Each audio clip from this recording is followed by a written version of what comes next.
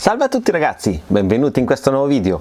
Come ormai sapete, eh, dal primo di gennaio è entrato in vigore il nuovo regolamento europeo per quanto riguarda i nostri amatissimi droni. Questo video non è una spiegazione per quanto riguarda appunto questo nuovo regolamento europeo, anche perché eh, il regolamento europeo c'è, ma siamo in attesa del micro regolamento di ENAC che va a, diciamo, a integrarsi con eh, quello che è il regolamento EASA, eh, perché era troppo semplice prendere quello EASA e eh, usarlo così com'è che noi ci dobbiamo fare un nostro micro regolamento all'interno di quello. Comunque questa è solo una mia opinione, eh, ma non è di questo che dobbiamo parlare oggi. Ma di quello che vi voglio parlare oggi è come creare eh, il codice EASA da applicare al nostro drone, o meglio come creare un QR code a cui all'interno mettere il nostro codice EASA, perché appunto in questo nuovo regolamento europeo eh, dobbiamo avere eh, applicato sul nostro drone il nostro codice Hoşçakalın. Personale perché comunque eh, oltre al QR code del drone che è quello richiesto da ENAC almeno fino adesso poi vedremo se in futuro ancora vorrà questo eh, QR code eh, diciamo dedicato e specifico del drone dovremmo avere per EASA invece il nostro identificativo cioè eh, quello che è il codice che appunto fa risalire a noi come persona. Quindi già all'interno di quello che è mm, il nostro profilo su D-Flight abbiamo già questo codice EASA adesso volevo farvi vedere come andare a reperirlo e come trasformarlo in QR code da applicare sul nostro drone. Una volta che avete fatto la registrazione su D-Flight e avete fatto la registrazione come pilota SAPR, eh, a quel punto eh, avete il codice EASA. Quindi entrate in servizi di D-Flight, andate a fare il login, una volta fatto il login cosa andate a fare? Andate a cliccare sul vostro nome, sul vostro account ed ecco qua che eh, sulla sinistra appaiono tutti i codici che vi interessano. Avete il codice utente, codice operatore e codice EASA. A questo punto cosa dovete fare?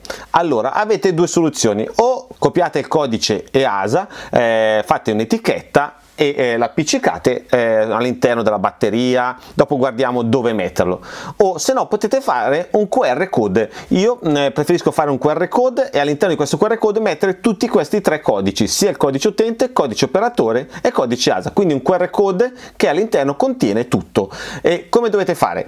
Aprite block note per Windows o text edit eh, per Mac come io in questo caso e all'interno andate a scrivere il codice utente il codice operatore e il codice ASA come ho fatto io ovviamente qua c'è scritto nerd e mezzo ma ci andrebbe il codice eh, che avete eh, nel sito di Flight. Una volta che avete creato queste tre voci non dovete fare altro che andare a aprire uno dei tanti siti che vi permette di creare i QR code eh, ve lo fanno fare gratuitamente quindi eh, io uso questo itqrcodegenerator.com vi lascio il link in descrizione.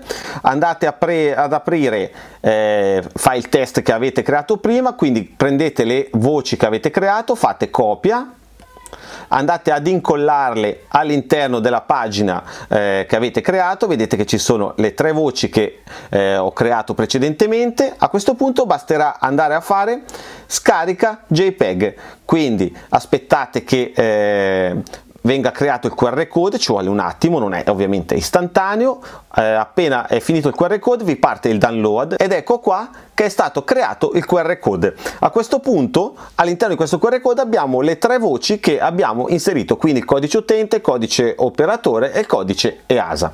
Eh, basterà andare ad, utilizzare una qualsiasi applicazione di lettura del QR code. A questo punto andiamo ad inquadrare il QR code che abbiamo creato per vedere appunto se è stato creato giusto e se funziona, poi lo andremo a stampare su carta. Quindi andiamo ad inquadrarlo Perfetto, vedete codice utente un nerd e mezzo, codice operatore un nerd e mezzo, codice ASA un nerd e mezzo, quindi il QR code è stato creato. Eh, a questo punto, una volta che abbiamo fatto eh, la prova, basterà andare a stampare il QR code. Ovviamente eh, dovremo decidere di su che misura eh, stamparlo, quindi andiamo ad aprire un programma come può essere Page o Word, eh, indifferente in base al sistema operativo che avete, andate ad importare il QR code che avete creato che vi trovate in download andate a eh, copiarlo all'interno eh, di page o word e andate a, a, modificare le dimensioni quindi lo, lo andate a fare delle, della misura che più eh, preferite e in base a dove lo dovete mettere. Supponiamo di avere un Mavic Air 2 eh, lo andremo a mettere all'interno della batteria quindi lo metteremo in questa posizione. Quindi lo andremo ad appiccicare qua o sotto o qua, da, o qua eh, nella parte frontale quindi lo potete mettere dove volete ma dovete decidere appunto di che misura andarlo a fare.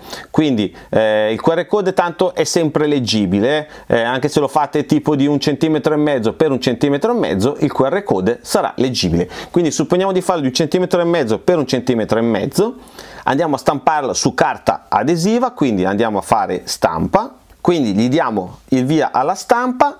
Ecco a questo punto il QR code è stampato eh, su carta adesiva. Basterà andare a mettergli sopra un piccolo strato di eh, nastro eh, trasparente eccolo qua. Adesso abbiamo il nostro QR code pronto per essere tagliato e appiccicato. Facciamo un'altra prova eh, con l'applicazione.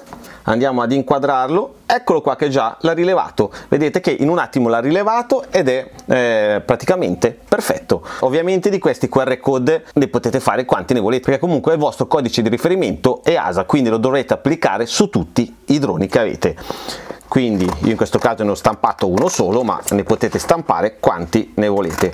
Ovviamente io gli metto sulla eh, il nastro trasparente per proteggerlo per non farlo rovinare così anche nel tempo non si rovina anche se comunque lo mettiamo all'interno del vano batteria però eh, secondo me mettergli un po' di nastro adesivo non fa male. Quindi andiamo a togliere la pellicolina di carta andiamo ad applicarlo lo applichiamo qua dietro al drone quindi l'ho applicato vedete in questa posizione e adesso andiamo a leggerlo ancora col telefono per vedere se tutto è rimasto funzionante. Andiamo ad inquadrarlo ed ecco qua. Direi perfetto quindi ragazzi avete visto come è semplice creare QR code, ne potete stampare quanti ne volete perché comunque ne va applicato uno su ogni drone e con questo codice ASA potete andare a volare in tutta Europa. Eh, questo codice è indispensabile attualmente bisogna averlo applicato al drone. Eh, il QR code invece del drone siamo in attesa di vedere se qua in Italia sarà ancora obbligatorio, se non lo sarà, eh, tutte cose che scopriremo eh, solo vivendo. Quindi ragazzi se questo video in cui vi ho portato sul canale come creare il QR code eh, col vostro codice ASA da applicare ai vostri droni. Vi è piaciuto e vi è stato utile lasciatemi un grosso pollice su. Seguitemi su Instagram dove porto tante novità curiosità stampe 3D eh, voli cioè veramente arriva di tutto lì. Eh, iscrivetevi al mio canale Telegram offerte se vi va per sostenere questo canale ma soprattutto ragazzi iscrivetevi a questo canale YouTube. Per non perdervi neanche un video un volo una recensione un testo un tutorial e una novità. Ciao